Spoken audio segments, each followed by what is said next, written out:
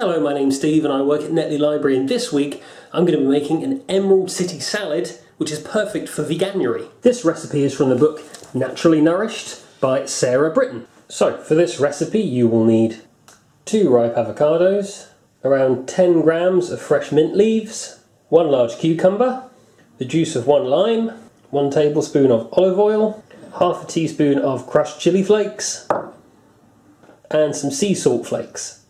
First slice the avocados crossways around the stone so you end up with rings. Then peel off the skin. Next, stack the mint leaves on top of each other and roll them up. Slice them crossways so you end up with little ribbons. Then cut the cucumber lengthways into long ribbons. The recipe says to use a mandolin for this, but I just used a vegetable peeler because that's what I had.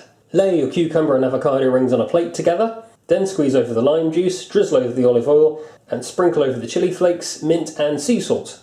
And there it is, a lovely little fresh vegan treat for a sunny or even rainy day.